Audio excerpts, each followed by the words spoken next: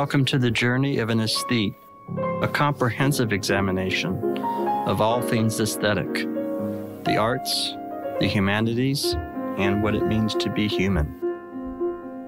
Anna Shapiro there. Hi, Mitch. Anna, it's such a great honor to to talk with you on our show. Welcome to Journey of an Aesthete podcast. Oh, it's a pleasure to have you um, invite me onto your show. I'm so excited. Yeah, I mean, my show is uh, there's so much to talk about, and I, you know, of course, I'm very respectful of the guest time, and, and you'll have to keep me informed and in terms of uh, how much time you have. But um, I, I, should say, you know, I, have had so many different kinds of guests on our show. Um, you're unusual in a couple respects because I think I might know you better than any guest I've had since we dated back back in 2002 2003 we we were in a relationship isn't that amazing yeah yeah over a decade ago it is amazing. Back in boston. Back at well for you see that's an interesting thing you bring up boston because for me thinking about that time I, I have very fond memories of that actually. And the thing that first thing comes to mind is it's much more than boston because you were interested in towns surrounding boston right? You had interest in providence you had interest in maine you were doing history of Somerville. And again, I don't want to get ahead of our, ahead of myself, but um, it seems like very much a, a, similar artist now as you were then, exploring. Um, well, I'd rather hear you talk about it, but I think you're you're unique in your artistry because you're trying to, I think, find a balance between uh, relevant art or public art, ecology, geography, but also sculpture and paint and and and you've been pursuing this project i think for now what 20 years 25 30 years yeah, maybe even 30 years. I mean, I've been an artist since I was a little girl. Um, and I actually, it's funny that you talk about all my explorations. Um, there was something that was missing. And I, the reason why I mention it is I just brought up this um, box from my basement. It's a Singer featherweight sewing machine. It's an antique, wow. probably from my great aunt Betty. Wow. And, um, and so, you know, I feel like I'm in many different places. She was from Brooklyn, well, actually originally from Ukraine, uh, Russia, uh, Odessa. so place is really important. Process is really important. Uh, yeah. Connecting to, to, to people is really important to me. All those things still. You, you and I have an interesting amount of things in common because aren't we both ex New Yorkers, or, or you were you originally in New York? Yeah, I was born in New York City. I was, and I lived there for 18 years. Yep, New York City, 1967 here. Um, so we, are both displaced, uh, I guess, New Yorkers. well, you know, I always have the best connections with New Yorkers. Yeah, it's a, it's a really beautiful place. It's a it's a symbol to me. Uh, New York's very much a symbol of, um, you know, I guess the imaginative possibility of unity um, and and sort of of all peoples, and you know, it's the Statue of Liberty, and, and, and it's all that. So there's right. there's a lot to that aspect of New York.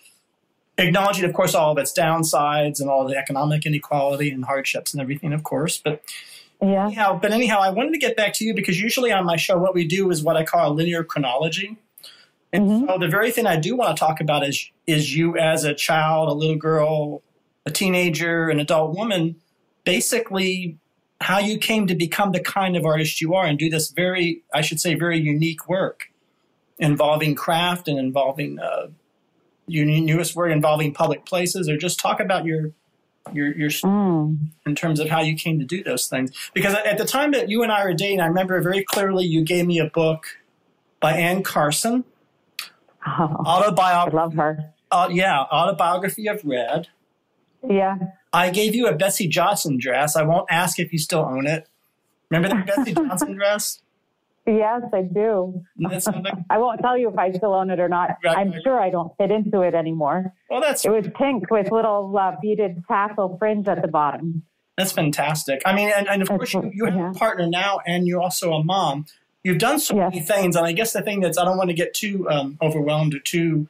I just want to take things a step at a time. So, do you mind going back and talking about your first you know, feet into what we call art or making things, wherever you wherever you want to begin.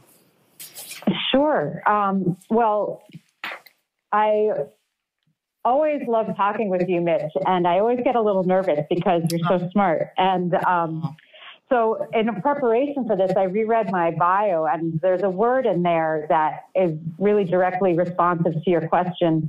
Um, that is the word distaff. It's kind of an old fashioned word. It. And it means from the mother's side. Oh, okay. And um, I would say that my mother, who is a dancer and a choreographer and teaches uh, movement analysis, Laban notation, she's always been interested in the connection between movement and visual arts.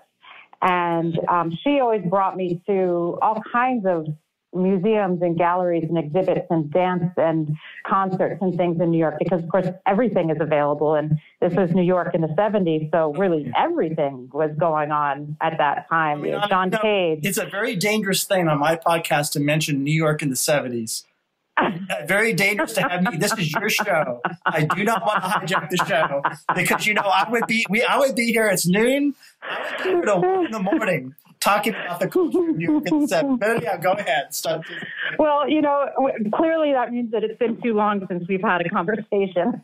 Yeah.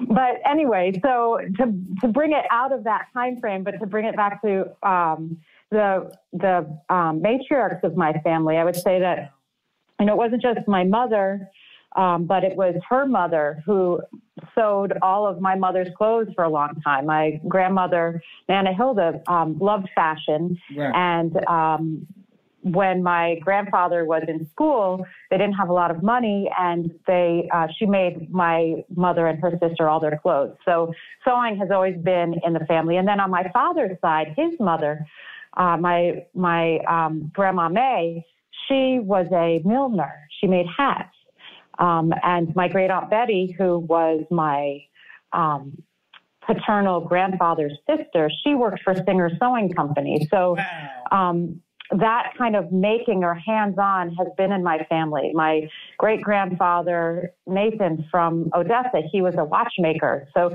there was always a hands on element and a, and a fine craftsmanship that I think runs through the family. Um, Mhm. My paternal grandfather was a film projectionist in Brooklyn. Um, so there's a visual appreciation. And I think he was probably um, a, a uh, an artist at heart, but couldn't be one because of his responsibilities to the family during the, depression, the depression and all.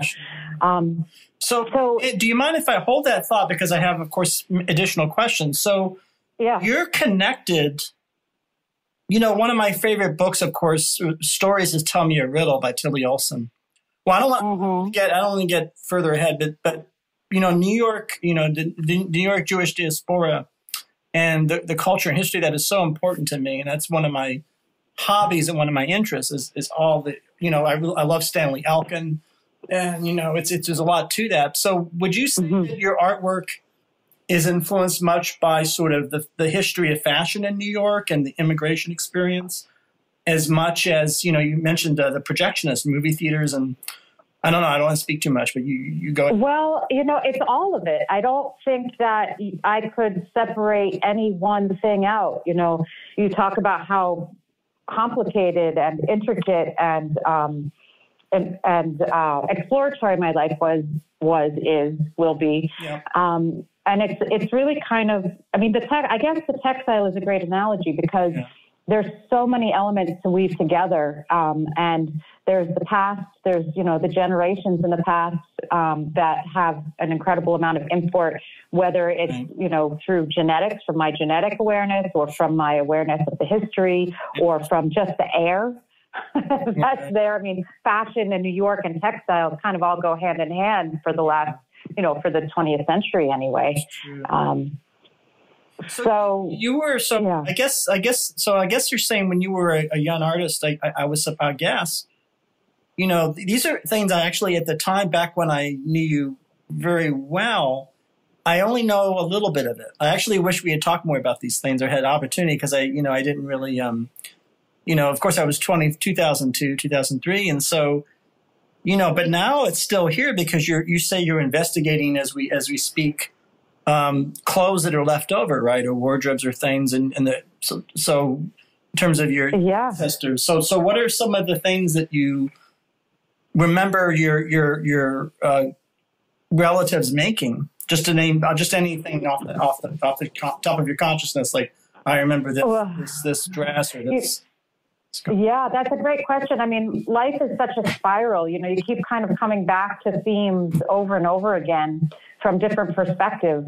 um, and see them differently. I mean, you know, I'm sitting here with my great Aunt Betty sewing machine, and I have a, a form of uh, um, a dress form, yeah. actually not from a family, but from a um,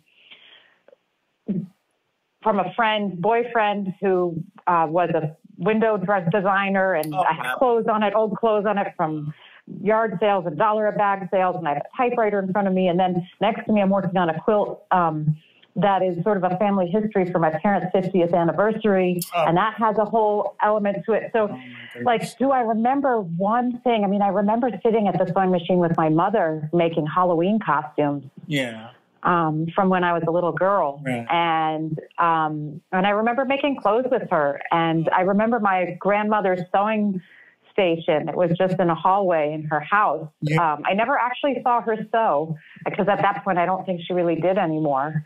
Right. Um, and I didn't ever remember seeing my grandma May making hats, but it's all that oral history that yeah. has sort of informed yeah. my awareness of my family. Yeah, I mean, it's fascinating to me. I mean, I think that, that uh, in a way, do you see, uh, again, I don't want to get too far ahead because I want to st- stick with the, you know, the so-called linear, as I always say, the linear things make the non- non-linear things happen. it's just well, yeah. It's just it's, it's all nonlinear. You're just pretending to make it linear. no, no, no. I want the linear to be. It's sort of a foundation, but it's not real. I mean, what's what's you know metaphysically, spiritually real, of course, is completely nonlinear and completely right. Well, right, right. We'll just hyperlink through this conversation. just like you know, so we so we had to plan. Well, I'm going to call you at a certain time. We're going to do the show. That's yeah. mechanics, but the the aim, of course, is to have that as a bedrock, so then we can get wild and go into something or get something something a little deep, a little deeper, a little more serious. So um, I'm just wondering, you know, fa- the world of fashion. What comes to your mind when you think about the history of the garment district in New York and fashion, or anything else, or or, or just? Mm. Oh my God! Yeah. So fabulous. I mean, yeah, we. I guess we never really got into talking about New York garment fashion. I mean, I always knew you to be a, an incredibly well dressed man. Yeah. And at the time that you know me, I was wearing polyester pants and a button down polyester shirt, you know? I liked it. that was not so fashionable, I know, because it made you think of the 70s. But, yeah. um, you know, when I think about fashion in New York, I think about the Met the Metropolitan Museum of Art sure. Fashion or Costume Institute, um, which is an interesting place in a lot of ways. I just found out that it's the only self funded aspect of the Metropolitan Museum of Art. That's right. And the big Met Gala is all about that, and that's why people just go all out with it. But I, I mean, Anna, didn't, didn't that was? I hope I hope you liked AOC's dress. You know, I don't even recall what it was. So AOC made headlines, made international headlines with the dress she wore at the Met Gala. I think it was last year. Yeah. Years ago. And it, this year. It was probably this year because it was rescheduled because of COVID, of course. That's right. So it was, um, anyhow, it said eat the rich on it, I think. And it was. A, oh, yeah. I heard about it. I don't think I saw it, or maybe I did, but it's not sticking. Well, she looked, I'm ashamed looked, to say. looked amazing in it. I mean, well, well that's a whole I mean, I again, I, I'm always sympathetic to blending, you know, beauty and social justice or aesthetics. And yeah. I don't, I don't think that there's a natural, I don't think that there's a natural en- enmity between them. I think that's just artificially created. We assume they have to be separate, or we assume that they can't go together. Oh, fashion is so political. I mean, it, it tells you, it, it shows. I mean, fashion it's like the signifiers of who you are, where you're from, how much money you have, what style you are. I mean, even now, it's probably one of the strongest signifiers of, of who you are, you know, yeah. whether it's a plaid shirt or right, right. or a high fashion dress that says eat the rich or what secondhand clothing. I mean, the resurgence of secondhand clothing now is phenomenal, and um, you know, socially conscious clothing and fast fashion, and people getting into May, what made by me May? Have you heard about that?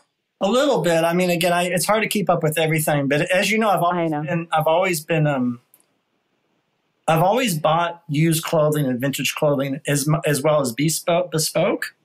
Yeah. I've always done both, which is kind of unusual, right? So I've always been interested, Yeah. of course, in slow fashion.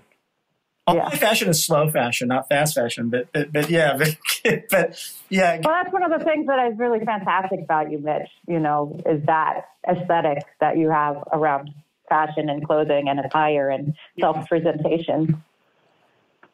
it's It's your art. It's one of your many arts. It, it is, and I and I saw, but it's, it's exciting to hear that you have a direct link to that history, and and it's um, I Yeah, well, you know, Yeah. there's a book um, that you're reminding me. I wanted to mention. I can't remember the name, but it's about that uh, 1911 fire that happened in the um, shirtwaist, garment district. Yeah, The in the shirtwaist house, and it was the, yeah, the Yeah. shirtwaist, Uh, yeah, Um, and it was fiction about a carnival, um, um, like a carnies family, yeah, and um, a fellow who kind of escapes that and winds up um, becoming. Um, he live, He becomes a photographer, oh wow, and he photographs that, and um, it, it's sort of like about Manhattan mm. in that time of transition Yep. from kind of farmland and mansions and uh, you know the Hudson River and factories and kind of where it starts to transition into apartment buildings and Right. uh, all of that. I mean, it's it's it's so fascinating, and I think I went to the garment district probably for the first time when I was a teenager, and I was right. you know there's the garment district, there's That's the right. diamond district, there's the leather district, there's the Lower East Side, which is just rich with so much, and it's it's fascinating. Then here I am in Providence now, which is where you know, Pawtucket Slater Mill is the first um, industrial textile mill in America. Mhm. Yep. Excuse me. Um, Samuel Slater actually um, uh, he um, he he stole the intellectual property by his memory uh, from an from a mill in England, from a textile mill in England, and he memorized it and he rebuilt it in Pawtucket. He rebuilt it in, in Rhode Island, right? In, uh, Yeah, in Rhode Island, and uh, and you know that's Rhode Island is rich with a textile history. Well, of course, as you know, RISD always had a great fashion department, and always had a. That's a whole other Yeah, other discussion. Yeah. They're no, they're actually Well, I mean, only really more insiders know about that. I mean, of course, you did you you you. I don't want to get too far ahead, but you have a Chicago connection too. But we can get we can get hmm so so you're Yes. developing. So I guess my next question is, when did you start making work that you considered sort of art? By which I mean something that's made for reflection and not completely utilitarian Mm. aesthetic. I mean, I know that you started doing that. But what, what, when did you? When would you say you became aware that that was a project or something you were you were you were serious about, or you would you say? Well, uh, because of my mother's encouragement and because of her interest in the arts, I was I was always making art in a certain way. Um, I, I probably wasn't self-aware as an artist at three, making this wonderful watercolor of squiggly lines and stuff. But there's definitely, you know, something wonderful and magical that happens with three-year-olds that are given watercolor paint. Absolutely. Absolutely. And then, you know, as a teenage girl, I loved Erte and Oh, his fashion design and Art Deco. And Yeah. at the time, down in Soho, there were lots of poster exhibits of Erte, and there was like Yeah. an Erte show at the Costume Institute. Um, and that whole time of the 20s fascinated me because of the liberation from Oh, the yeah. restrictive form of, you know, corsets and Oh yeah, proper dress, right? sure. Um, uh, so, so I was always kind of creative and thought maybe I'd be a fashion designer or maybe I would work in a museum or something. And then I did go, you know, I studied with um, uh, a, a woman who was a painter in Long Island City. She gave me lessons in painting on. Saturdays. On I would take the number seven train out there, That's and uh, Irene, yeah, it was great. Um, and that's probably when I started looking in a different way. Uh, you know, maybe from when I was 16. Sure, sure. Um, I had been, my school had a really great art teacher, and every other year she would take a trip, a two week trip in the summer to Italy, and she would bring students with her to study. And I was supposed to go. Uh, and then there was like some kind of terrorism that happened in Italy. Oh, the And- brigades. Probably the Red Brigade, Brigade, I would imagine. It, it, it was like 1986 or 86, there was still a, there was still an ex, a very bad extremist Marxist-Leninist uh, terrorism in Italy. Still, Mhm. Uh, at that time, of course, unfortunately, it was also a resurgence of fa- fascist terrorism. But but um, I don't know which one. I'm just trying to think off the top of my head. What? But, but anyway, go go ahead. Yeah, it would be interesting to know. I mean, just Yeah. that in that in that timeline and markers in life, and this is something I don't really talk about with anybody, but you've certainly uh, opened a door in my memory that Yeah. that's really kind of fun to explore. Um, so instead of going to Italy, because everybody was afraid that there would be another terrorist attack, uh, we went to Mexico. They had friends in Mexico, um, and we stayed in San Cristobal de las Casas, uh, which is not far from Oaxaca. And um, I remember painting a parrot. And it was just, I mean, I painted a lot of things. I painted the fountains and I was using acrylic paint and I had just this one brush that I loved and I used all these bright colors. And I think that's probably when I really started making art was there when, when I, the um, that was the time when you you had a sense of a change in your consciousness or your um, a shift in what your sense of purpose, I guess, or or self confidence. and the impact it had on other people. Ah, that's interesting. You mean like the audience or, or viewers? Yeah. Okay.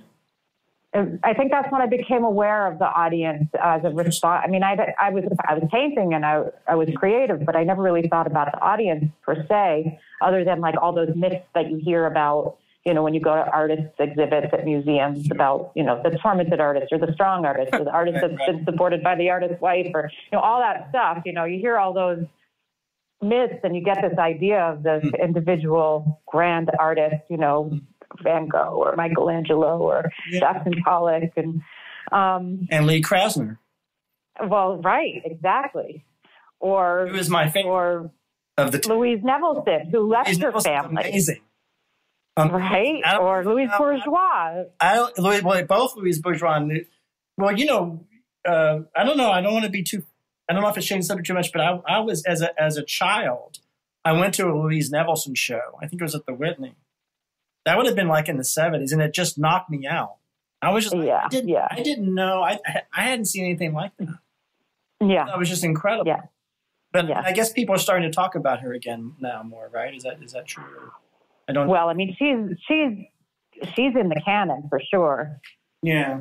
um, you know, I mean, from Maine, she reused all these all these furniture parts and cut-offs of wood and painted everything Yeah. black, and, and she was just an extraordinary individual. And Yeah. um, yeah, that that legacy of female sculpture is just Oh. is wonderful and something that I'm investigating a lot right now. Um, in the vein of of um, Well, those folks. oh my Yeah. yeah well of them, but also um, oh gosh Judy Chicago. I get, I, well, there's yeah, definitely Judy Chicago, um, but I'm thinking like more contemporary installation, like Jessica Stockholder or Doris Salcedo, who's a, Chil- uh, a Colombian artist who I'm fascinated with right now. And hmm um, but anyway, um, that's not really what the question was, but I forgot what I the think I had a question was. Uh, I was just trying to get a sense of, uh, and, and also too. Do you think it makes a difference?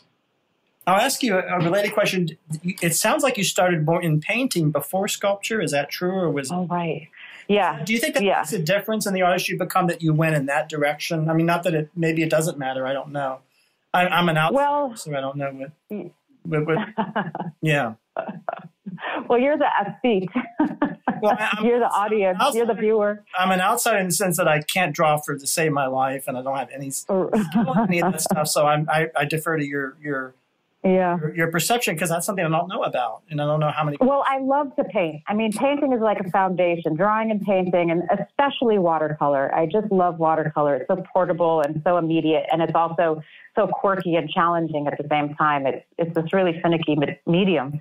Um, but what happened was that you know I started out as a painter, Mhm. and I went to the University of Chicago to study art and art history. Wow. Um, and I got interested in, you know, you had to take foundation classes because it was a foundation school. You took core classes for the first two years. Even in art, you know, you had to take sculpture and um, uh, stone carving and photography, not you know painting, drawing, and um, so I was there for a year and a quarter.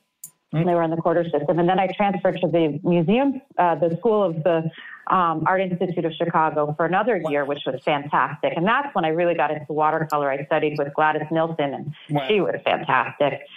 Um, and then I dropped out because I just thought mm-hmm. that nobody could teach me art. Uh, I see. pretty arrogant. well, I, you know, I want to I want to rewind a little bit because that's a lot to take in because you're in Chicago, and of course th- those programs are really to somebody who doesn't know what what made those pro- programs in Chicago so special and talked about all around the U.S. and the world. What were the the qualities if you had to if you had to um, uh, off the top of your head to mention those that you think? Just curious. curious. Well, the access to knowledge was phenomenal. Mm-hmm. Just um, being at the University of Chicago, you know, you're on top of like the Fermi Lab, which is this theoretical physics super collider, basically, you know, or where they developed the nuclear bomb. Or, oh, yeah, and there's just right, so right. much brain power, and you, you know, conservative and liberal, and there was just like everything was there. There was yeah. so much brain power, yes. you could just absorb it. And uh, I remember me wandering around, being curious, and finding basements that were full of books. Mm-hmm. Um, yeah, that was a fantastic place where you just, the excitement for learning was encouraged and you could just really explore anything. And yeah. I can't say that I was very good at any of it, huh. but I was interested in all of it. That's interesting. Now, you say you can't say you were really good at any individual thing, but you were interested in all of it. Mm-hmm. what I would say, uh, if I if I may be so bold, uh, is to say that if a, I believe that an interest in all of it could create goodness. Uh, what I mean is that it could be a a, a, a, um, a pathway to getting good at, at something or things, right? Do you think you think that's too optimistic? I sort of feel I feel that there's that there's that, right? Well, I guess it depends on on your nature. Okay. Um, because and and goodness is a funny word because it seems to add some kind of a value system to it. Right. Uh, but for me and my personality, being interested in all of it is how I process it and how I understand it. I'm, I'm curious in the connections between things as opposed to the precision of knowledge and expertise in one thing. I mean, you may or may not know. I don't. I don't put much truck by even the word good. I mean, these are these, of course, are all problematic words. All, all I mean is um, well, you're saying it now. You, it's almost like you're you're synthesizing these things, right? And through mm-hmm. synthesizing them, that's how you develop your own style. Would that be another way of putting it, or or no? Yes. Mm-hmm. Um, but I would also say that synthesizing these things is my style, and okay. aestheticizing it is my art. Okay. You know. Okay. Um, and how I aestheticize it is my style. I see. Does that make sense? It does make sense. Um, I, I, I, like that. Um, you know, it's funny. I just I, am looking at your brand new work. Uh, this uh, dark macrame. This um, that's in your on your website. Oh, the videotape. The videotape. It's, yeah. cro- it's crocheted videotape. It's crocheted videotape. That's that in itself is amazing. Is that getting too far ahead? Do you want to weave in and out and go go to that. Oh, I'd be glad to talk about that. Yeah. Yeah. Talk, well, that's. An, I remember Anna's bananas. That would have been remember Anna's bananas. Um, yeah. Well, now I go by Anna Banana. Anna Banana. Um, and then and then there's the wave lady. Um, do you you're a wave lady, right? So. Um, yeah. Do you want to talk a little bit about ecological concerns or natural concerns in your work? A little bit, because it seems to be a theme.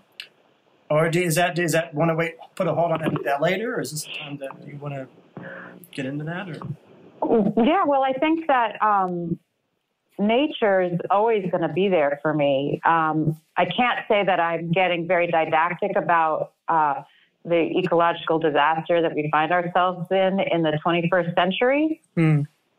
Yeah. Um, I mean, that's been a concern of mine you know, in addition to being an artist and a creator, I've always been an outdoors woman. Ah, um, I'm really comfortable around a campfire. I'm really comfortable uh, in the wilderness for extended periods of time. Maybe less so now because I haven't done it in a while, but um, but I real I, am very aware of nature, and um, I've been a park ranger, and I've done tree identification walks, and you? I'm an urban gardener, and all. I mean, that's like sort of the other hold, side I of me. knew you were a park park ranger. When was that? You didn't? No, How could you not know that? I don't know. That's my own ignorance. And where where were you a park ranger? Um, I was a park ranger at Acadia National Park I'll be darned. in Maine, on Mount Desert Island in Maine, Bar Harbor. That's beautiful. Yeah, it was wonderful. And then I was sort of a, a park ranger apprentice in Utah at Canyonlands. Wow. I'm, Yeah, which is the quintessential environmentalist location. I don't know if you ever read The Monkey Wrench Gang. I ha- of course I read that. Yeah, Edward Abbey. Well, a lot of people these days have not, and I it's it should really be something everybody reads in high school. you Um, think I should be teaching Edward Abbey in high school? That's interesting. That's interesting. don't you? You'll get a lot of. You'll get. Well, I don't. I don't share. I'm not. Um. Well, I mean, as a as a as a work of literature or as a. Yeah, or as a as a as a philosophical uh, notion. Um. I I mean, we teach John Updike, we teach the jungle. Upton Sinclair, right? Well, actually, Oh, Upton- I think I think um, that's a great book. I'm just trying to remember. You know, I think at Interlochen we read that. I think we read the Monkey Wrench Gang, and I think we read that at the same time as we read Ken Kesey. I think, or or um, Uh huh. so yeah, Yeah. I do know the book, but is that I, I'm getting too far ahead? But you were that was instrumental to what you were something. Well, okay, so I was I was in Utah studying, learning how to be a park ranger, and I was in this section called the Maze District of Canyonlands, which is like I don't know an hour on a dirt road outside of a town called Green River Junction, Right. which is the melon capital of the world, apparently, or Yeah. so they claim. And um, and so you're just going deeper and deeper into this um, sort sort of sagebrush, right, cattle ranching territory, and then you find yourself in the national park, which is like this um, series of canyons that um, that the um, Anasazi lived in that's right. and uh, and it's the beginning. It's sort of like the headwaters of the Grand Canyon, Mm-hmm. and it's where Hayduke, if you remember in the Monkey Wrench Gang, like they do all of their monkey wrenching and all their eco-terrorism, and then he wanders off into the desert, into That's- the maze, That's right. and that's where he goes. I'm pretty sure. Mm-hmm. Interesting. So I loved being there for that reason, amongst other reasons. I mean, it's gorgeous. It's an amazing place. So I, I would imagine being a park ranger is a pretty demanding jo- a calling or a job or occupation, whatever you want to call it. And so, uh, how were you able to do that and do all these other projects? So did you alternate them, or did you, or how did how did? Well, um, There's lots of different ways to be a park ranger. Um, there's law enforcement, which I did not do. uh-huh. Um, there's the interpretive, um, which is what I did, you know, explaining the landscape to visitors. Uh, and then there's the administrative. Uh, and then there's also the biological, ecological, geological, you know, scientific aspect of being a park ranger, which I didn't do either. Um, but I did study geology, Wow. and that was where my career took me was to be a park ranger because I didn't want to be a miner and I didn't want to be an oil driller and I didn't want to be a hydrogeologist. So Right. um, so I went into the park ranger service, and, and it's so visual, and and being out in nature is inspiring to me. Sure. Um, So I, I guess it's a. I guess there's a direct relationship between your sculpture and that, right? So there's a. Um, I'm sure that I'm sure your work as a park ranger was starting to then influence your work, right? Artistic work. yeah, This. yeah, I did a lot of watercolors when I was a park ranger, Okay. um, and I actually went after. So after I dropped out of the University of Chicago and the School of the Art Institute of Chicago, I went back and studied geology, and I got my degree and was a park ranger. And then I um, and then I went back to school to get my MFA in, in Portland, Maine. Okay. And I was living in Somerville. It was a low residency program, and um, I was studying with some really amazing artists. hmm And that's when I became a sculptor. Was in the MFA program. Interesting. So it's almost like a new a new art medium develops at a certain time. You're doing these things, and then you you uh, you as you as you as you as you grow, you you develop you So that so the sculpture did cut happen later, I guess, is what you're saying, in that at that It particular. it did, and I think part of it was what I was exposed to. Okay. um, because I'd always, you know, I'd seen sculpture, but I never really thought about how it was made. I just appreciated it, and I'd seen paintings, and I always thought about how they were made. Um, and then I was exposed to installation art, and I was exposed to um, critical thinking and critical theory. Um, you know, this was in the late '90s, so there was a lot of critical theory going around That's right. about, you know, art and every about everything. Yeah, Yeah. you know, sort of Freudian, Lacanian Uh-huh. um, um, the the um, psychological aspects, you know, postmodernism, Right.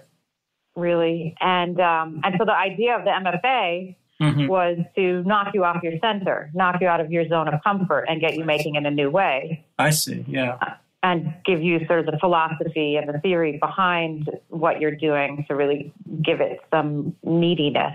hmm Um, and then I got really into installation and performance art hmm and went that way. And, and that's probably right around when we met. That's right. That's right. And that I Um, guess that's where, where we used to go to Oni Gallery and Lydia Eccles and all that. Yeah, exactly. Years, yeah. Yep. And then there was a, uh, what was the gallery name in Somerville? I made an installation, a kinetic installation that uh, was about water splatting and somebody pulled on it and there was a jar full of glitter and it splattered all over the Yep. floor. It was sort of like this great moment. it was Gallery Rashad. it was an unanticipated, but but but was it a usable moment or was it a workable? moment? What was that? Was it, It was a workable moment. I mean, it definitely was not how I intended it, but it made total sense. you know the You other know, people always want to touch your artwork. It's so crazy. They're like, oh, let me, you make tactile art. People want to touch it, of course. yeah, especially if it has glitter, right, or if it has texture, something like that. Certainly, but um, but I remember you did a project. With, you did a project with firefighters, didn't you? Wasn't there or or um? Do you remember that the ladder? Uh, the some that's connected to your Somerville project. Um, With firefighters. Yeah, firemen or fire or um.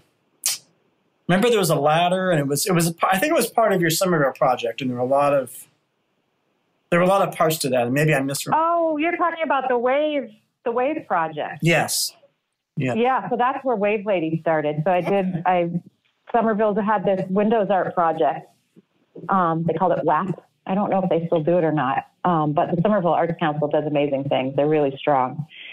And, um, and I had the Somerville Theater as my venue. hmm And um, this was the performance piece, an interactive performance piece. And I went to film um, the water around uh, the airport, around Logan Airport. Um, Oh wow, was it is it called Orient Point out there?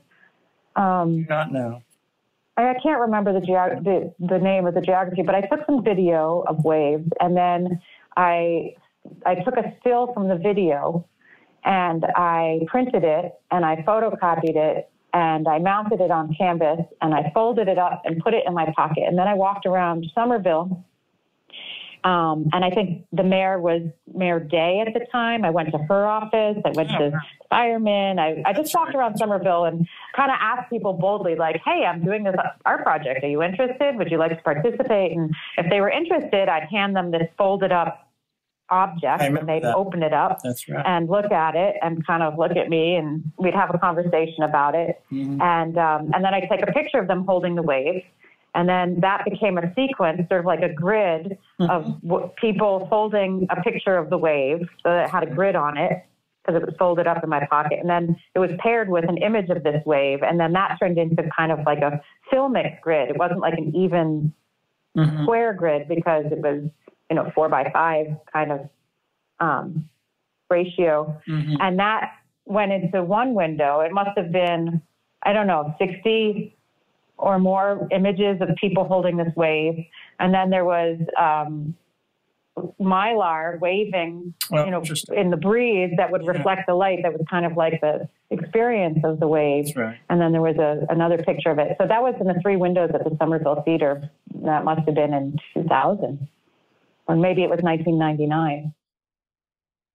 everybody needs an anchor in life. You, me, just everybody. Anchor made this whole show possible. I'm immensely grateful to them. You too can use Anchor to make your own shows and create your own vision. Download the Anchor app or go to anchor.fm to get started. Yeah. So I guess in, the, in those years you were really developing your, I guess continuing to develop your own style, and I guess um, I should ask you about this. It seems to me that you were pretty um, interested in in doing things that involve, uh, I should say, things in the world. Mm-hmm. Art in the Yeah. world. And it's funny, I recently had uh, Blake Gopnik, who did the Warhol biography on my show.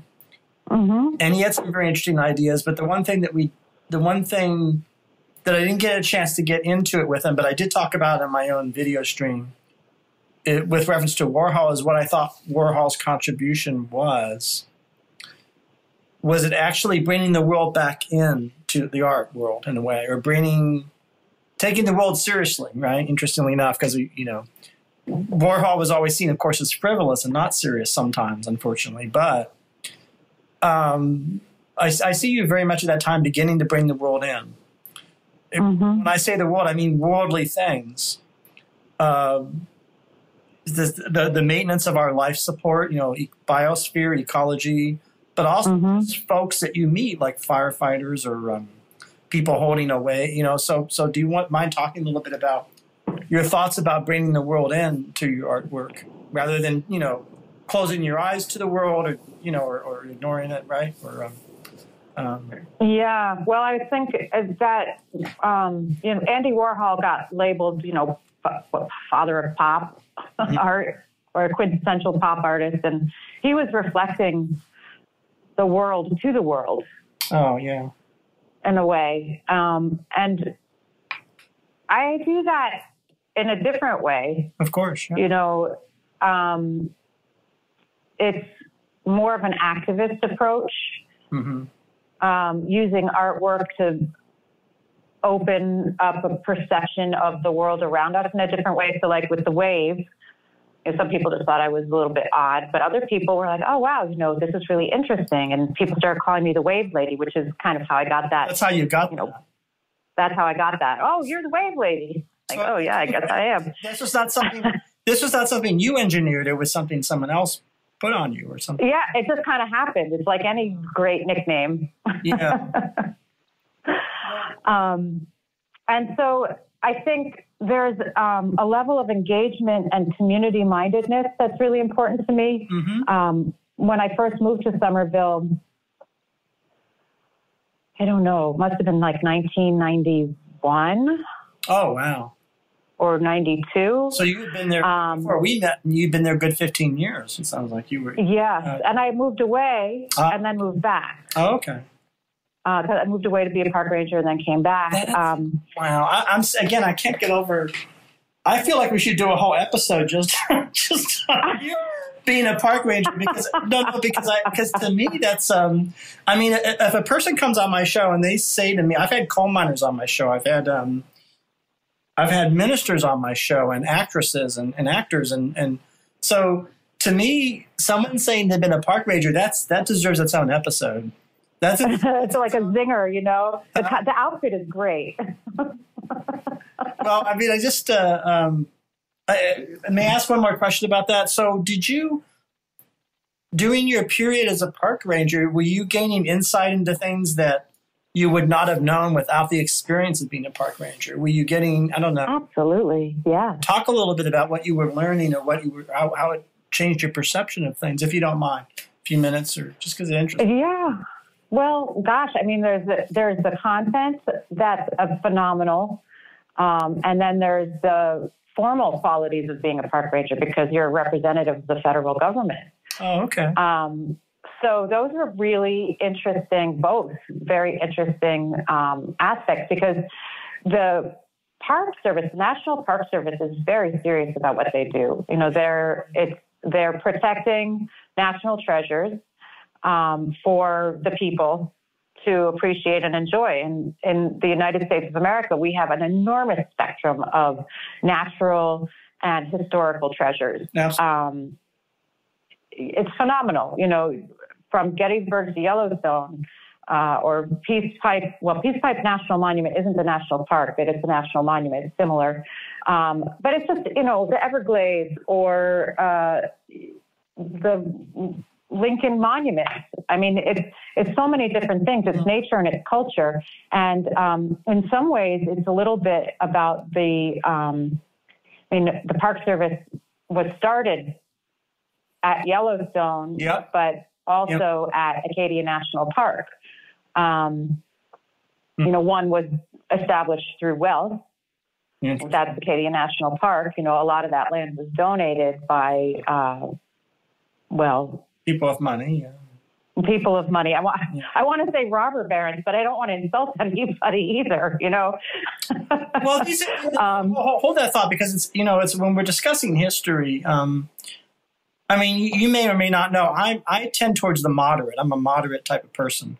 I don't really I don't like any political extremes left or right. So that's my bias. So you have to have to deal with that. So, but, but part but part of that is robber barons. These are terms that historians invent, right? Usually with um, right? They they invent because they have a certain agenda or they you know. And so you want to emphasize the fact that the Carnegie and Mellons that they that they um, Well, the Rockefellers. I mean, they were they they were railroads. They I- it makes me think of Atlas Shrugged and Ayn Rand. So, like you know, it's we could go. That's a whole rabbit hole. we could fall fall into. Um, what is it? but let me bring it. Let me bring it back, Mitch. I'm sorry. Yeah. I mean, I know that the, the the journey is kind of um, the point. I don't. I don't mean to cut us off because Oh yeah. that is a, a conversation that's very interesting. Well, it's it's important. If I may, so it's important only, only insofar as I think institutions are important, right? And so, if a natural conservancy is created, right, you have to figure out, well, how was it created? And so, I guess all, all I mean to say is that you may have to look at people in different ways. You may have to say, well, this this public figure did some good. This public figure then did some bad, and you know, evaluated on you know on its right. On, that's all I mean. It's like Right. Yeah, well, and and you just heard that like there was a, a peak in Yellowstone that was just renamed First Nations Peak as opposed to uh, named after a general who massacred indigenous people. yep, You know, there's all there's so much history there, and it's so rich. And so, like as a representative of the federal government, you can't take sides. You have to be very even-handed, Right. and they're very specific about their training of how you speak and what you speak about. Right. But they're also very good at training you in, in in speaking, in the art of speaking, because as an interpretive ranger, I was speaking to visitors, right, and I it was my job to inform them of what we were going to learn yeah, and show them that we're in the in the natural environment and Mm-hmm. then kind of explain what we had learned so that they can really take it away. I mean, there's so much there. How do you convey that in, Yeah. you know, a one hour tree identification walk? it's sort of difficult, right, in one hour, right? But that's your job. You have to do that. Yeah. You have to do. Well, I guess you have to do the hits, right? You have to do the. What, these are this is the most Yeah. Important the greatest hits. And yeah, I mean, I did shoreline walks, I did mountain hikes, I did, Yeah. you know, evening uh, beaver observation. And, um, you know, if, if you're at a historical site, you might be doing reenactments or, you know, talking about history. Um, but I was really glad to be in the natural world. And I was interested, I always learned about more about the place I was. And there was always an opportunity to delve deeper because you had time to learn and research as part of the work Mhm. um, because it made you a better park ranger. Yeah. And I um, guess do. and I loved the Mhm, Go ahead. Sorry. oh, I just love the hat. The you know the there was formal wear and then there was informal wear. So if you're like hiking up a mountain, you could wear a National Park Service baseball cap. But if you were walking on the show, if you were doing one of the greatest hits, you had to wear your formal wear, which was you know wool slacks and a straw brimmed hat. Oh, that's amazing. Yeah. Is that like a uniform for the job, or is that? Yeah. Yep. Huh? hmm I don't know anything about that until now, so I'm learning that. Yeah, I didn't know. It's fascinating. I don't.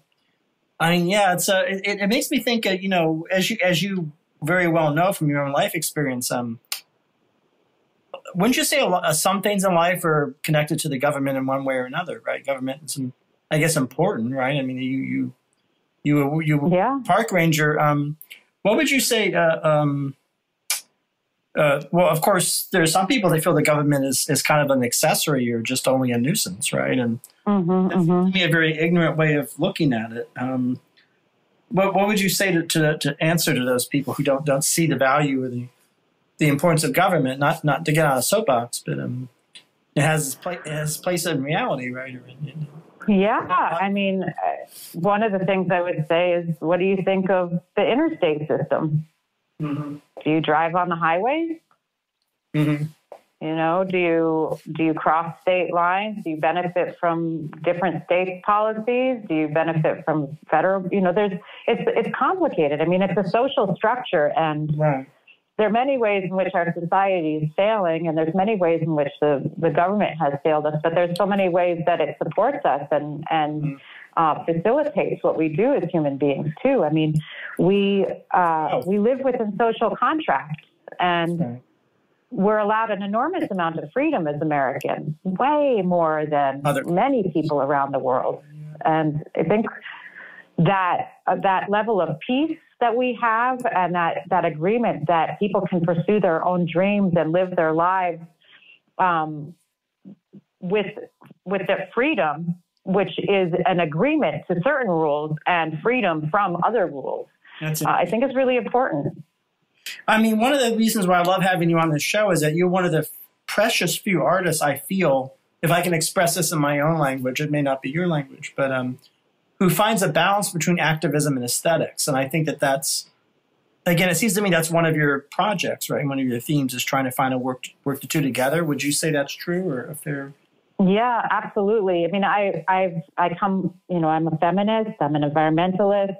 I'm an activist. I uh, I'm also very interested in materials. You know, so like um, as a feminist, what is what's a teapot, and what's Yeah. the opposite of a teapot is like a gun, or like you know. You've got guns. You've got these really strong arms, but then you've got guns, which are these really strong arms. you know, like it's a, there's so much play. I mean, I love language. There's I know you. so much richness in all of that. Um, Do you mind talking a little bit about your love of language? You certainly are really gifted, and you know a lot about. it. I mean, you're doing it now, but puns and things like that. Are you are you um, a person who does crosswords and, and sort of and, li- and likes? Uh, no, I No? suck at crosswords. I mean, I I do. I get so frustrated. because you're more a vis- visual person, or, or is that? Uh, Maybe yeah. I'm not. Uh, maybe I've just I'm not. I haven't spent that much time practicing doing crosswords. I've tried. I know they're good for your mind and all, but yeah. um, I think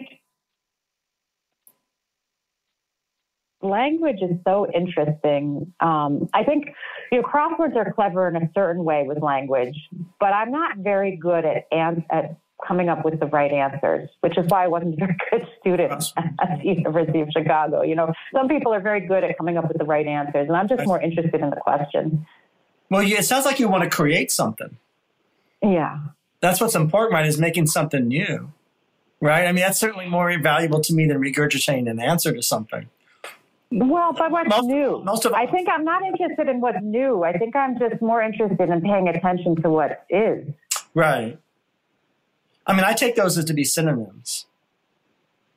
I mean, for me, those are the same things, actually. Interesting. New and is? Yeah. Because, you know, no, because because to me, the as you know, I think the quotidian is everything, right? Which is what is, right? And I, I think only through that are new things created, is, is what I would. Mm. I mean, Mhm. I think it might be a mistake to try to be new. You know, I think that's is an affectation, or if you push that too much, that could be right. I think that that would be not ideal, right? So I don't mean being new for the sake of innovation. New. I just mean creating something as opposed to destroying, or you know, or, or, or trying to you know create a new day, which we have to do together. Right? We have to make a new day. We have to get up. We have to All right. quotidian, and, and so that's kind of um, you t- talk. You should talk rather than I, but but but but go ahead. Well, it's such a quotidian is such a great word. I think it's French, hmm but it also it's like quota. hmm It makes me think of I, I you know I oftentimes I have a dictionary in my kitchen, and whenever I have, whenever my daughter asks me a question about a word, I break out the dictionary because Yeah. I might know what it means, or I might just have an internal understanding of what it means, but I'm always so interested in the etymology of the word mm-hmm. and where it comes from and how it's used. And then you stumble across other words that are very interesting. And that kind of takes you, a, a, a boyfriend of mine talked about the dictionary safari. And you would just kind of go on these journeys of learning words. And it's different than, you know, Googling and coming up with Merriam Webster Google, which I always find kind of unsatisfying um, well, you, met, you mentioned your daughter. When did you become uh, become a mom? When did that occur? And, and... I became a mom pretty late in life. I was 42. Okay, that's a good year to do it. Yeah, it's the answer. What is it? What is what does Douglas Adams say about 42? From the Hitchhiker's Guide to the Galaxy, it's the answer to life, the universe, and everything, or something like that's that. That's a really good book, isn't it? what, what, what, Douglas Adams books have you liked, or not to not to get too far? You, you mentioned them. That Oh, you know, that's really it. Okay. Yeah. I, I love science fiction. Um, I consider that to be kind of science fiction, but it's also like a parody science fiction. A little less my leaning, I guess. Can I ask you a kind of a related but weird question? Why do you think that none of the streaming TV networks, by which I mean, you know, Netflix, HBO, etc., has done a good streaming series based on Ursula Le Guin, like or like the Left oh. of Darkness. Why is it nobody's done it because it's they never found a script good enough, or she didn't okay it, or what do you? That, but that seems like an uh, ideal. Uh, doesn't seem like an ideal. That's a good question. I mean, there, didn't didn't they do wasn't Whoopi Goldberg in a in an Ursula Le Guin movie like A Wrinkle in Time? That's Madeleine L'Engle. Different, different. Oh, that's Madeleine L'Engle, right? Who's a, who's a who's a sort of a radical Christian, actually. Wrinkle. Yeah. And that's a great wrinkle in time. Well, C.S. Lewis too. I mean. Oh yes, but I mean, but that that seemed to be an ideal thing to do. Left Hand of Darkness and do about those two planets. That, would, that could make a great series. Is all I'm saying. oh yeah. Yeah. yeah. Um, but I, I, don't know. Go. I don't have an answer for why not. I mean, I would. I'm all for it. I, who knows why not? I mean, you want to start talking movies like yeah, yeah. Well, I, I just I sort of I sort of feel like um, so you became a mom. You did it at 42, and I guess the obvious question for me is, of course, your work's changing because of that, right? Yeah, absolutely. And inevitably. So, what are those changes aesthetically? Like, what kinds of things are you doing, or, or what is it making you? I don't know. What? Well, you tell me because it's you know it's. Um, yeah, that's. I mean, talking now we're talking about um, um, many uh, multiple episodes. You know, talking about motherhood and art making. I did listen to um, your uh, what is it? Fantastic Friday. Oh, Alex Carter. No. Mm-hmm. Did you like Alex Carter? Was it a great show? show? Yes, it really was. I loved it, and I loved hearing her daughter on, and I loved hearing her about how she was working and making around that. And I think that um, you know, what I was doing before, I was always, I think you would agree, Mitch, that I was kind of a macho person, or I had a little bit of machismo about me. Maybe it was the arrogance. I don't know, but there was something very that's strong. A, that's a very, that's a very um, sensitive question because we dated, right? Mm-hmm. Um, and I do have my own feelings about things, but I, I have overall I have great fondness and very and feeling of love and a great great affection about those years. And so I don't, I, you know, that's, that's, I mean, maybe that's too simplistic, but, um, well, I don't, I mean, I don't, I, I, but, I don't yeah. want to make you feel uncomfortable. And it was at a time before, I mean, gender bending wasn't really an issue. Like there was a little bit of, uh, discussion about trans and but there was right. the whole non-binary terminology didn't exist then and you know i definitely identify as she her i mean i would in some ways even sometimes especially as a mother, call myself it because sometimes oh, you're just like a piece of furniture. no, you know, get to get more precise. I mean, this macho quality in you. I mean, I do. I mean, maybe in terms of what, you know, what what I would would like or not like in a woman. It's you know, it's a it's a very of course a very sensitive issue, and and um, but I never I always I never saw. I mean, I saw that part of you but I but I always saw it as a part of you, not all of you. It was just an, it was like a yeah, like exactly. and you were to me very much very much female, you know, in a way that's yeah. and all that. And and I yeah. I didn't really. Um, the only thing about you that did annoy me was was your car and all the lumber and the wood and that's all. You know, the nails. Though that was the one thing that, that you know. But, is that what you mean by macho? That you got a lot of uh, equipment. I wish I had a pickup truck, Mitch. Yeah. Would that have bothered you even more? um, I wouldn't have liked that. No, yeah. but but it's more like I mean I think in some ways it's a defense mechanism as a woman in society, yeah. as a small woman in society. You know, I'm always oh. treated diminutive, diminutively. Oh. So the bravado oh, or that strength, you know, is like a way of kind of presenting and being strong and being armored and yeah. you know going out there and fighting kind of you know Jeanne d'Arc uh, as opposed to you know on a banana. So, so in, in a way, in that sense, I'm all for the pickup truck. I mean, if it's if it's that, that kind of project, Giant, do you want to talk more? Yeah. Or what what is? Yeah. So that, so yeah. so here's an example in my artwork. I was doing at one point. Um, I uh, I know people who own guns. Um, I've shot guns. I'm not a gun owner. I'm not. Uh, and you know, I'm a, I'm I don't I'm against gun violence, uh, but oh, but guns.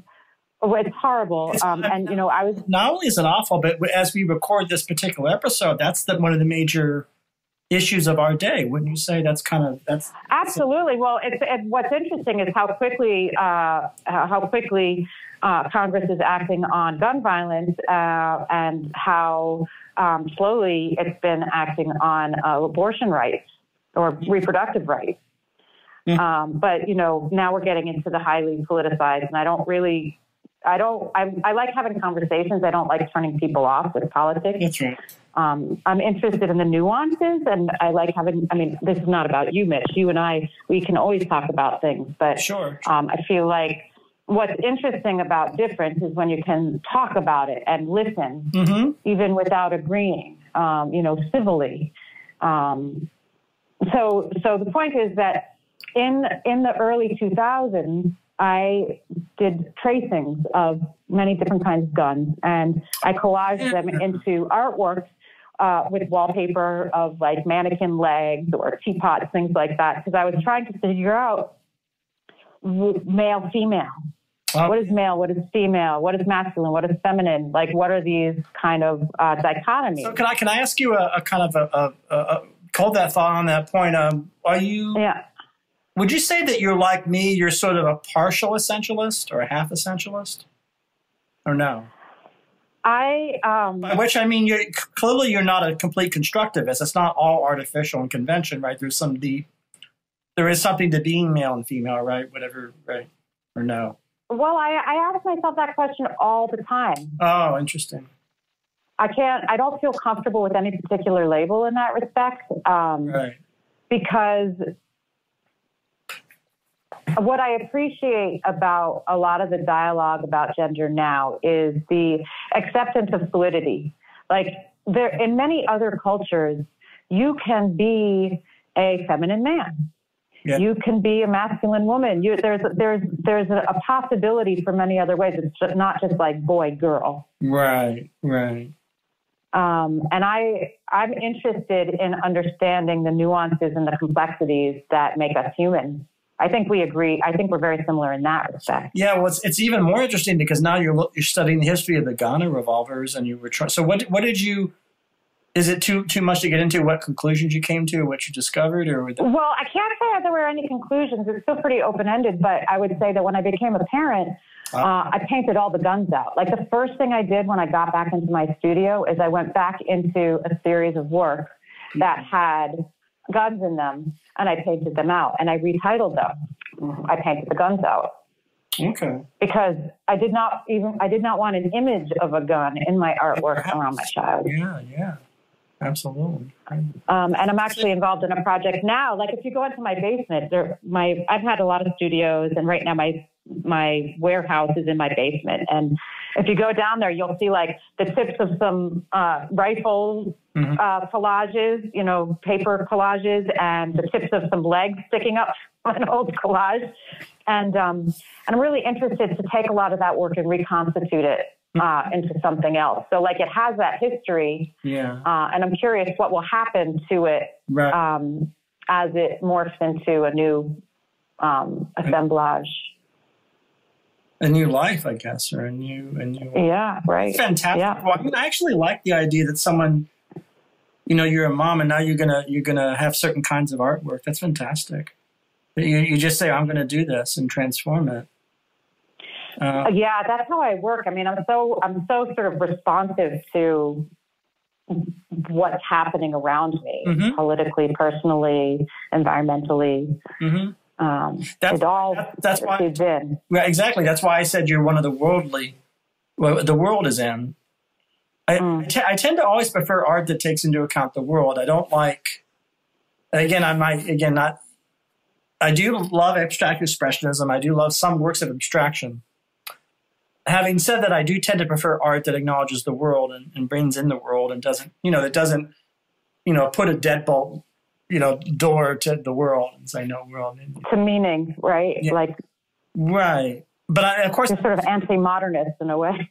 Well, I, I consider myself a postmodernist, but but what I which is probably similar to what I'm saying. But what all I'm saying is, um, I use the word the word world in a very particular way, though, mm, because world doesn't necessarily mean earthly or material only. hmm I mean, it involves, But it, yeah, it involves spirituality, it involves emotion, it involves experience, it involves history, it involves the world. So I mean the world in Right. its largest sense. right. and I do I do think that the artwork that's not as I should say is interesting to me is artwork that doesn't care about that or closes its eyes to that or you know or doesn't you know if if that makes sense. So hmm hmm yeah. Um, Yeah, I think we're similar in that way. I mean, I I, I resonate with that. It's it's. I agree. yeah. I mean, how can you, how can you separate anything out from anything else? And that's you know that's the greater ecology. There's a school up in uh, Bar Harbor, Maine, called the um, College of the Atlantic, Mhm. and you can graduate with a degree in human ecology, Yeah. which kind of takes into account all of these things. You know, we think of ecology as being nature, but of course we're of nature. We're part of nature. Yeah. Yeah. uh, inescapably. So the things that we do, whether we're building rockets to Mars or Or not. uh, sewing machines or Fishing. planting crops or dams or fishing or swimming, we're, you know, or bird watching, we're of it. I mean, I th- it's so amazing to me that you have in your house that Singer sewing machine. Yeah, I know. I I am amazed Can too. you talk? Can you talk about the last time you were in front of it? When was that, and what were you doing, or what? When was? Say that again. When were you last in front of that sewing machine? I don't think I've ever been in front of this sewing machine. Oh, okay. I think this came from. I mean, it's from my great aunt Betty, but Right. I don't know if it was in my great aunt Rose's house, Mm. who was her sister, yeah. Uh, Rose Dane, Betty Shapiro, um, or if it was in my parents' basement. I don't. Somewhere along the way, this black box that holds this sewing machine and a whole bunch of attachments and bobbins. The only thing it's missing is the bobbin case, but um, luckily I live in a city where there's an amazing um, sewing machine repairman who can fix any sewing machine, and he probably has just the thing I need for this antique. Yeah. Um, but yeah, I mean, I when I was waiting for you to call, I was nervous, and I decided to bring it up from the basement because I'm creating a studio in my basement for my next body of work. And uh, I was like, oh, I'm going to see if it works and plug it in and Got see what kind of condition it's in and all that. And so I had just pulled it out and started looking at it. So this is like the first time, um, and I'm enchanted with it. Yep. And that's what you're doing right now. That's your. That's your next. Um, that's amazing. It's part of it, yeah. I mean, it's it's black and enameled. It has gold writing on it. It has a medallion. It has. Wow. It's just it's phenomenal. It's it's cast iron Oh wow. and oh, it's gorgeous. It's solid state. You know that makes me think of. Uh, you talk about the materials that go into this. Uh, is there anything you want to say about your love of and and, and um, both love and intelligence and knowledge about materials? That's a big topic, right? So, right. So what? I, I don't know how much. You know, all, even good things come to an end, like this episode. But is there anything you want to add about the meaning of materials for you that you could, you know, because you're mentioning the cast iron and the gold, or or material uh, material culture Yeah. or ingredients or whatever comes to your mind. Could be anything. Right. I- Well, yeah, material culture. I mean, I have to say, I'm sad to uh, have this conversation end. You're going to have to call me again sometime. Yeah. Um, but uh, cast iron is something I discovered um, when I moved to Providence. Um, a friend of a fellow artist recommended that I take a workshop um, in upstate New York at Salem Artworks, um, led by a woman who runs the Foundry um, program at Alfred University. And um, I fell in love with it because there's a physicality, like we were actually casting iron. We were chopping up old radiators, we were melting them in these uh, handmade furnaces.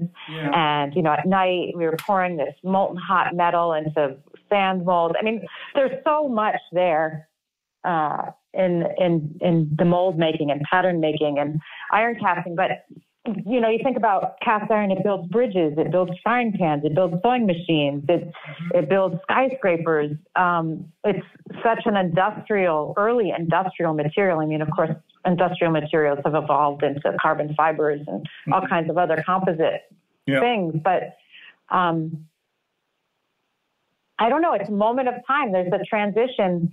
You know, when you think about textiles and the impermanence and delicacy and softness of textiles and the hardness of a cast iron sewing machine, even like there's a perfect dichotomy. hmm You know, that's that I could explore Sure. visually or in words for a long time. It's, it's, there's so much. You know, there are a lot of artists that use the material meaning um, hmm as, a way to bring in meaning and context into their work. And that's something that I incorporate too, not exclusively, because I love color and form and texture as well, just in its purest form. Wow, that's exciting. So, um, Anna, I think uh, I think this is this is. Uh, I'm so thankful that you took the time to come on the show. It's Um, a pleasure. before we conclude, is there anything you want to say about either your current work or about the world or about anything that comes into your mind as we as we say goodbye? Mm. Um, yes, I, there is one thing because we talked a little bit about how has my work changed um, over time in the lin- in the linear, non-linear way of my being in this world as an artist and Yeah. as a woman and as a mother. Um, and my most recent work is called Love Letters. It's at a um, gallery that's um, unjuried, uncensored, and um, all ages uh, called ASC 20 in the reading room. And um, they are, it's rose petals um, and fake rose petals. And uh, I've typed on both of them and I've uh, put them onto cardboard and I've made bound books and what you know you can see it on my website uh, and on my blog but um, it was a way of transforming the questioning of the dichotomies of feminine and masculine soft and hard uh, and all those things into something as big as love Mm, and love letters and presenting it in a way that was is very subtle and subversive because all the fierceness that was in the work that had guns and Mhm. cast iron is and teapots and you know it's all in this work but it's in a different way. And um, it really asks the viewer to enter into it um, and with a, with some vulnerability which I think right now um, is really hard to do. We're all so hard and hardened and defensive and insular and and um, it's really important to come to each other with delicacy but also understand that it's not simple. It's very complex. Mm. i don't know. Yeah. Well, that's uh, that's that's um, everything to me, and uh, I really um, I'm happy that that's Love Letters is your current project. I think that that seems to uh, be the best thing uh, an artist could be doing in 2022, or maybe the most appropriate. So, thank you, thank you mitch thank you very much. it's, a, it's wonderful to chat with you Absolutely, we'll do it again. okay bye for now hmm I don't like goodbyes, so I'll see you soon, folks. Thank you.